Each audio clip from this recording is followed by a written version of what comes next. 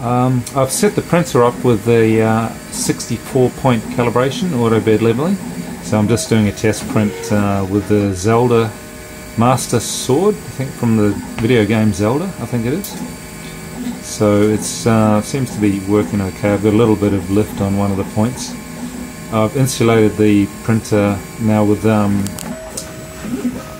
pool noodle. So you see a nice bluish purple pool noodle all the way around to stop the cold air in and I've also got a sheet of plastic on the top to keep the heat in and I'm finding the extruder motor is getting extremely hot. It's probably uh, over 80 degrees at the moment so I'm just a little bit worried about that. So I may need to fit a fan on that or turn the current down a little bit. But we'll just see how this print goes. A little bit of uh, muck off the nozzle sitting on, on the print job there, a little black piece hopefully it doesn't get baked into the job too badly so not too much to go. So this is half a sword. I chopped the sword in half. It's printing 10 times to scale, so it's just under a meter long. And um, it's about one and a half hour print. So we'll see how that goes.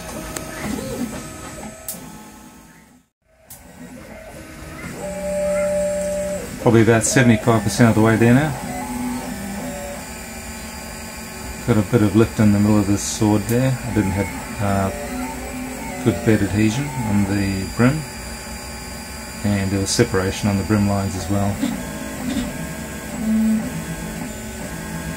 So it's just finishing off the handle I think now.